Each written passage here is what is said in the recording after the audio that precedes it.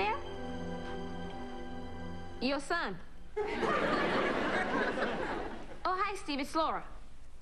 No, you're not dreaming. Listen, could you grab your accordion and come over here? I'm kind of in the mood for a little. I can't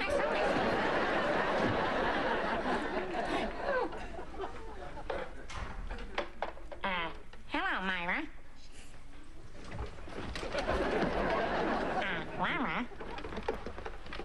Would you care to explain what's going on here?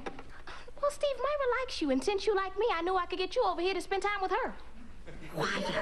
Oh, the sneaky, underhanded tricks to pull. You're good, baby. Steve, just spend a few minutes with Myra. Give her a chance. You may have something in common. You never know.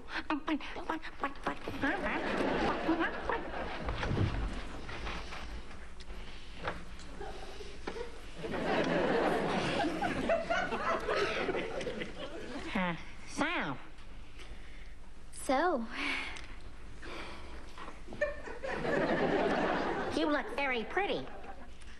And you look very handsome.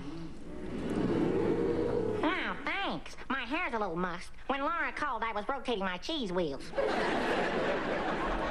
Nice accordion. Oh, thanks.